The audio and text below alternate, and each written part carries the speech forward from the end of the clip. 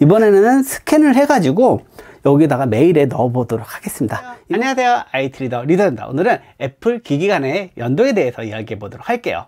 애플 제품을 사용하는 사람들을 보면은 처음에 아이폰으로 시작했다가 아이패드도 사고 애플워치도 사고 맥북도 사고 아이맥도 사고 이렇게 다양한 애플 제품들을 구입을 하게 되잖아요 예뻐서 쓰는가 이런 생각을 하시는 분들도 있을 거예요 하지만 애플 기기 연동성이 정말 좋다고 하죠 애플 제품의 이 그물에 걸리게 되면은 그 연동성의 매력 때문에 쉽게 다른 제품으로 넘어가지 못합니다. 그런데 이렇게 연동이 잘 된다고 하는데 아직도 모르는 분들도 많아요. 그래서 오늘은 어떤 연동을 할 수 있는지 제가 쉽게 알려드리도록 할 테니 끝까지 영상을 보시고 여러분도 활용해 보실 수 있었으면 좋겠습니다.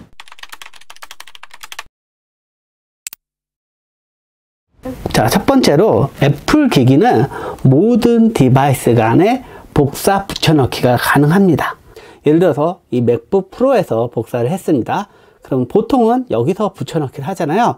애플 제품은 여기서 복사한 거를 여기다가 붙여넣기를 할 수도 있고요. 아이폰에다가 붙여넣기도 할 수 있습니다. 맥 OS 카탈리나를 복사를 해보도록 하겠습니다. 복사를 했습니다. 아이패드에 붙여보도록 할게요. 자, 과연 붙을까요? 길게 눌러보면은 붙여넣기가 나오죠? 맥 OS 카탈리나가 붙는 걸 확인해 볼 수 있습니다. 아이폰에도 붙을까요? 자, 길게 눌러보겠습니다. 자, 붙여넣기 나오죠? 붙여넣기 누르면은 이렇게 맥 OS 카탈리나가 붙는 걸 확인해 볼 수 있습니다. 그래서 기기는 다르지만 복사와 붙여넣기가 일괄적으로 되는 이런 연동성을 가지고 있습니다. 이런 매력 때문에 애플 OS의 매력은 정말 감동을 주는 게 아닐까 싶습니다. 그리고 메일을 작성할 때도 여기서 작성하다가 갑자기 이동을 해야 되는 순간이 생길 수 있잖아요. 그때는 아이패드에서 아니면 아이폰에서 이어서 메일 작성을 할 수가 있습니다. 안녕하세요. 리더유입니다. 자, 여기다가 썼습니다. 이제 이동을 해야 돼서 나가요. 그때 이 아이패드를 들고 메일을 이어서 써보도록 하겠습니다. 메일을 이어서 쓸 때는 어떻게 하냐면요. 그냥 메일을 여는 게 아니라요.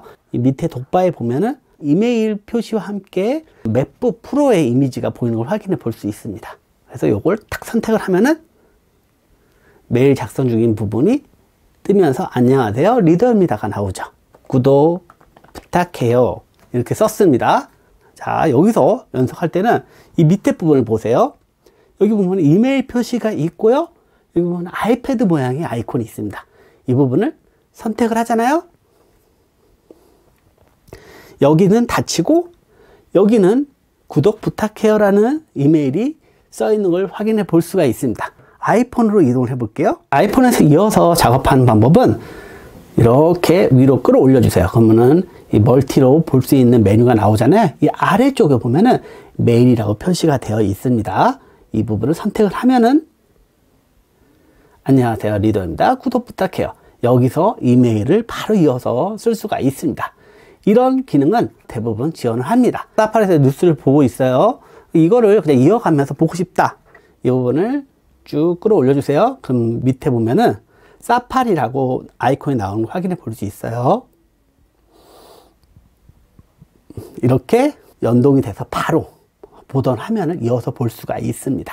그리고 맥북과 아이패드는 최고의 연동성을 가지고 있습니다. 자, 예를 들어서 이 맥북 같은 경우는 터치가 안 되잖아요. 화면 터치가. 이메일을 작성할 때 여기다가 어떤 이미지를 그려서 보내고 싶다. 그럴 때문에는 여기서 그리기가 애매하잖아요. 아이패드에서 그림을 그려서 여기다 넣을 수가 있습니다. 아이폰 또는 아이패드에서 삽입. 그죠? 사진 찍기도 가능하고요. 문서 스캔도 가능하고요. 스케치 추가가 있습니다. 아이폰 이 제가 두 개가 있기 때문에 이렇게 아이폰 두 개가 있는 거고요. 아이패드가 또 하나가 활성화되어 있기 때문에 이렇게 보이는 거고요. 자, 아이패드에서 스케치 추가를 눌렀습니다. 그러면은 자, 아이패드의 스케치 모드가 활성화 됐습니다. 리, 더, 유, 구, 도 이렇게 했습니다. 완료. 그러면은 여기에 들어와 있는 걸 확인해 볼 수가 있습니다. 굉장히 매력적이죠. 이번에는 스캔을 해가지고 여기다가 메일에 넣어 보도록 하겠습니다 이건 꼭 메일뿐만 아니라 다른 곳에서 다 활용을 할 수가 있어요 자 여기서 아이폰 또는 아이패드 삽입 있죠 그래서 문서 스캔을 해 보겠습니다 그러면 이렇게 폰에 카메라 모드가 활성화되면서 스캐너 모드로 변신을 했습니다. 스캔 작업을 해보도록 할게요. 자, 이 부분을 이 스캐너는 자동으로 위치를 잡아가지고 알아서 찍어주기도 하는데요. 지금 정확하게 위치 파악이 안 된다. 그때는 수동으로 찍어줄 수도 있습니다. 여기서 세부 조정도 할 수 있는데요. 뭐 이 정도 괜찮다. 어, 스캔 한번 유지를 하면요. 이게 사각형이 되면서 스캔이 된 걸 확인해 볼 수 있습니다. 그리고 저장을 누르잖아요. 그러면은 여기에 이메일에 들어가 있는 걸 확인해 볼 수 있습니다. 그러니까 맥북이 할 수 없는 그런 부분들을 아이폰과 아이패드를 통해서 다 연결해서 할 수가 있어요. 카메라가 필요할 때는 카메라 사진을 요걸 찍어서 보낼 수도 있고요. 이렇게 유기적인 연동을 통해서 서로의 활용도를 극대화해 주고 있습니다. 그리고 마크업이라고 있어요. 뭐 사진이라든지 여러 가지 이미지에다가 그림을 그려가지고 정보를 보내는 부분인데요. 자, 이 사진에서 제가 마크업을 해보도록 할게요. 이 편집을 선택을 하고요. 그 다음에 여기 보면은 점점점 땡땡땡이 있습니다. 확장 프로그램을 들어가는 메뉴거든요. 마크업 메뉴를 선택을 하면은 지금 마크업 메뉴가 활성화 되었거든요. 그럼 여기서 이렇게 그림을 그릴 수가 있는 거예요. 하지만 여기서 그리면 아무래도 정교한 컨트롤이 부족하잖아요. 이때 아이패드를 사용하고 있는 분이라면은 마크업 기능을 더 매력적으로 활용할 수가 있습니다. 자, 요 위에 보시면은 아이패드, 아이폰 그릴 수 있게 지원하는 거예요. 그래서 아이패드로 제가 넘겨 보겠습니다. 이 이미지가 그대로 들어왔죠. 여기서 그림을 자유롭게 그릴 수 있는 거죠. 자, 일로 갑시다. 여기 자 주목하시고요. 이런 식의 체크를 하고 저 완료를 누르면요. 여기에 그대로 적용이 된 걸 확인해 볼 수가 있습니다. 정말 매력적인 기능이에요. 이 기능 말고도 서브 모니터처럼 활용할 수 있는 기능도 있어요. 그게 사이드카라는 기능인데요. 사이드카는 위쪽에 연결할 수 있는 기기가 나와요. 사이드카는 서브 모니터로 아이패드를 사용하는 겁니다. 이거는 뭐 아이패드 미니도 되는 거고요. 여러 가지 아이패드를 연결해서 사용할 수 있는 부분이에요. 뭐 아이패드 선택을 하면은 서브 모니터로서 나오는 걸 확인해 볼 수가 있습니다. 이 화면을 이렇게 보내가지고 여기서 듀얼 모니터식으로 활용을 할 수가 있는 거죠. 그래서 자료를 참고하면서 볼 수도 있고요. 여기서 그림을 그려가지고 바로바로 바로 활용도 가능하고요. 유선도 가능하지만 무선으로도 다 되기 때문에 최고의 조합을 보여주는 부분이라 할 수 있습니다.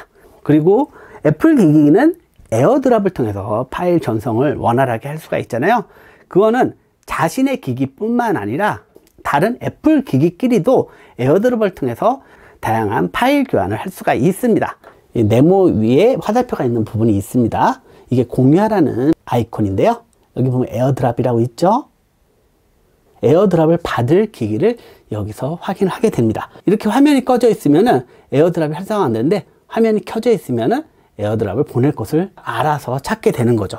주변에 만약에 아이폰 사용자가 있다. 그럼 에어드랍이 여러 명이 활성화가 됩니다. 아이패드로 보내보겠습니다.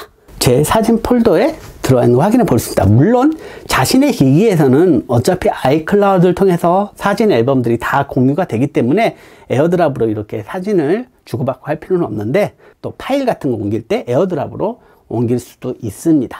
그리고 아이메시지를 활용하는 것도 굉장히 편한데요. 맥북에서 아이메시지를 받거나 보낼 수가 있고요. 아이패드에서도 마찬가지고요. 아이폰에서도 마찬가지인 거죠. 그래서 기기 상관없이 어디서든지 메시지를 보내고 그리고 전화도 맥북 프로에서 받을 수도 있고요. 아이패드에서도 받을 수가 있습니다. 그리고 페이스타임으로 화상통화도 할 수가 있고요. 그래서 애플 기기는 기기는 다 떨어져 있지만 활용하는 거는 사용자 중심으로 사용하는 기기에 focusing 돼서 서비스가 제공이 되기 때문에 굉장히 편하게 사용을 할 수가 있습니다. 자, 어떻게 도움이 되셨나요? 애플은 이렇게 기기 간의 연동을 통해서 서로의 사용 가치를 한 단계 업그레이드 시켜주고 있습니다. 다음에도 알찬 정보로 돌아올 테니 구독, 좋아요, 알림으로 놓치지 마시기 바랄게요. 여러분, 또 만나요.